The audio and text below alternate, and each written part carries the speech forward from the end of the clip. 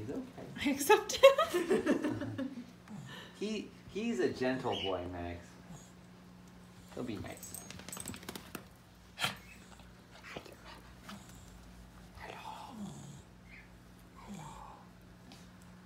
Well, good boy. See?